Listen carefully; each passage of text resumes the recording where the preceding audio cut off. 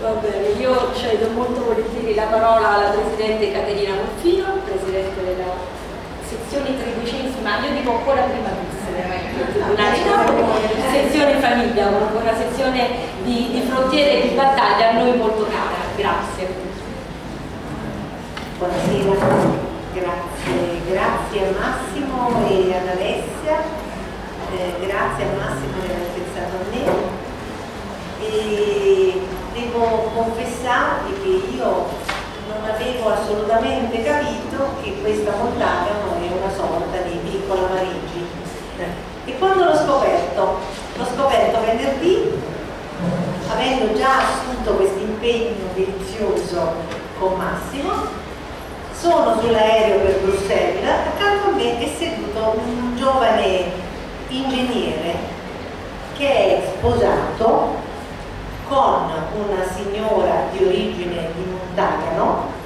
che vive in Belgio da sempre, anzi è nata in Belgio, perché Montagano, come mi ha spiegato questo ingegnere, è uno di quei paesi del Molise che ha vissuto un'esperienza di emigrazione non solo a Roma, dove praticamente la metà della popolazione è molisana, questa è un'altra cosa che ho scoperto qualche anno fa, ma tristemente verso il settore minerario del Belgio dove andarono molti montaganesi. Questa ehm, signora appartiene a una famiglia che si chiama Iacovino ed è una giovane donna che vive a Bruxelles, sposata con questo signore, il quale mi ha raccontato che ogni, ogni weekend la raggiunge perché hanno avuto una bambina e lui da Milano va a Bruxelles. E mi ha detto, signora, lei non può credere l'importanza che questi cittadini montaganesi assegnano al loro rientro annuale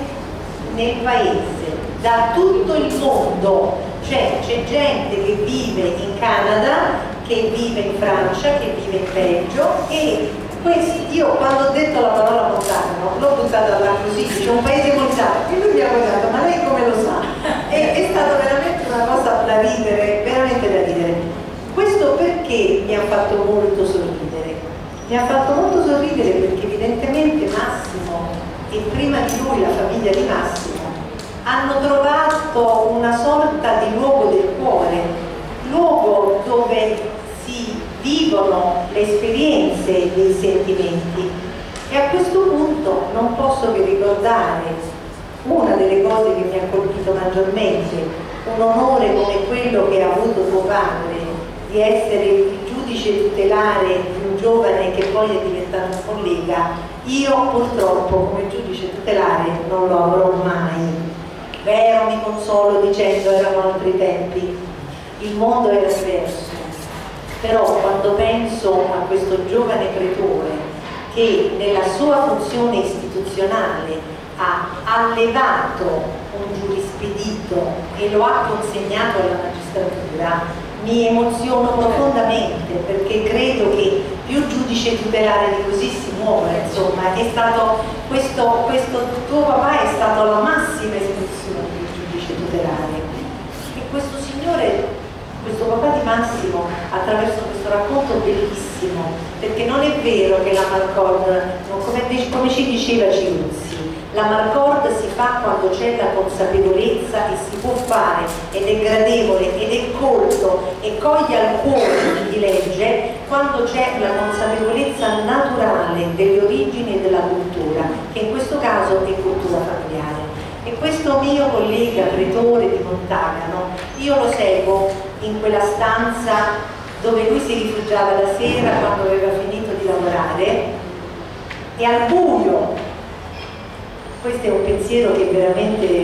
mi ha entusiasmato. E al buio si metteva a suonare.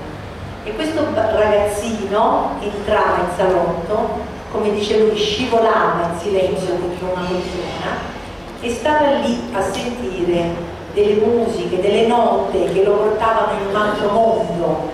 E soprattutto il pezzo di Debussy credo no? che ti facesse molto sognare. Effettivamente è una è, è un autore che dà queste, queste sonorità molto forti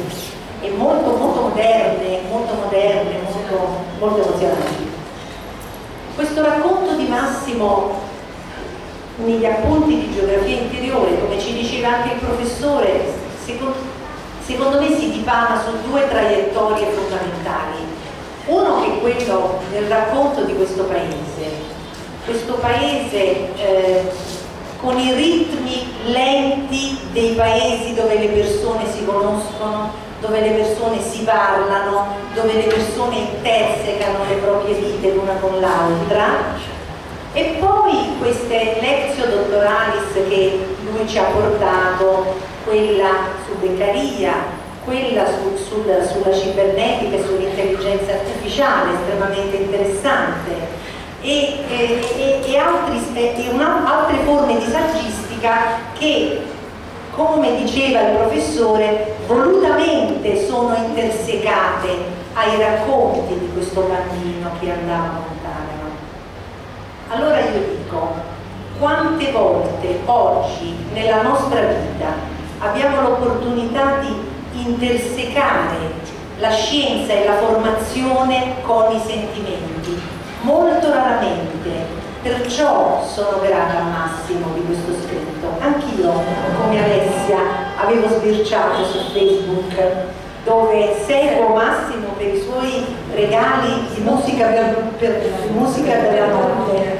che ci, effettivamente da grande, da grande, esperto di musica ci, ci regala questi consigli, ci, queste strade sulle quali addentrarci avevo sbirciato e avevo detto ah però ma chissà sarà lontanissimo questo posto dove si fa questa presentazione sarebbe carino. E dove, dove questo mio collega che somiglia un po' al curato di campagna perché lui è andato a scegliere come giustamente il presidente Cinuzzi ci faceva notare prima eh, è andato a scegliere degli uffici dove esercitare l'attività giurisdizionale lontani dai fasti delle grandi città dove si muovevano questi grandi, questi grandi centri di potere che negli anni 70, 80, 90 hanno purtroppo dato anche dei risvolti negativi, oltre al lavoro positivo che hanno fatto. Invece lui si è andato a cercare questi luoghi di provincia, questi posti dove andare a vivere il territorio, perché è il vissuto del territorio che io trovo qua.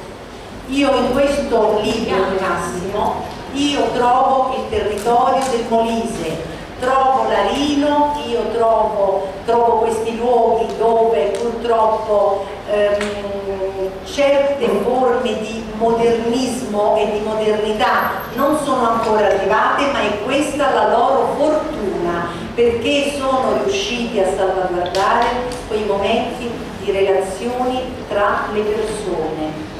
Perché quando, perché quando ehm, la discussione e la lotta si fa tra le paste della pasticceria una piuttosto che quelle dell'altra o la famosa coppa che non c'è più, la coppa che è il gelato ovviamente, la coppa Fidias che è il gelato migliore del mondo, vuol dire che le persone si sono ritrovate intorno ad un sentimento di umanità che le ha nutrite e quindi di questo al mio collega, al mio amico sono grata. Grazie.